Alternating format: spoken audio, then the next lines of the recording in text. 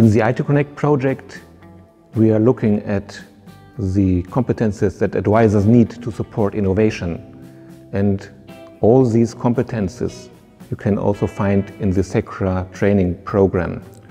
CECRA is a qualification program for rural advisors and it's all about advisor methods. No matter if you are an animal husbandry advisor or a plant producer advisor or an advisor in economics, you need methods to be successful in your work. In a CECRA course, you learn, for example, how to organize dialogue with a farmer. Then there are courses on facilitation. There you learn how to deal with groups, visualization, how to visualize in group settings, and the connection with i2Connect is that we have a special course on supporting innovation and networks.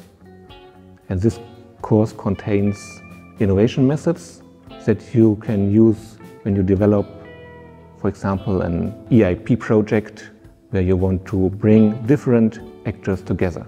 So if you want to work with farmers, advisors, scientists, you need more facilitation tools than just in a homogeneous group.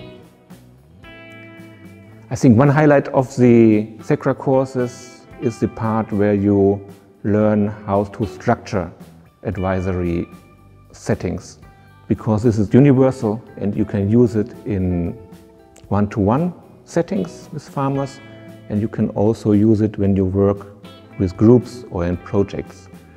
So for example, you learn that there is first an analysis phase when you are on a farm, for example, you absolutely have to do this farm tour with the farmer and get an impression of the farm.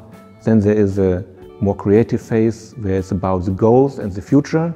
So what does the farmer want to do in future? And you help him to formulate the goals. And when you have this, then you have um, like the discrepancy between we are here and we want to go there and this is where you can formulate the task, the challenge or the problem. And then you start producing the solutions with the farmer. So this concept, first analyzing, then talk about goals, and only then work on solutions that fit to the formulated problem. So this is something that you learn and also experience in the trainings. One important aspect of the CECRA trainings is that they are designed in an interactive way. We do experiential learning, some also say action learning. So we do experiment a lot and we create situations together where we learn from each other. Usually we use the practice experience from the advisors and work with this in the trainings. This makes CECRA so special.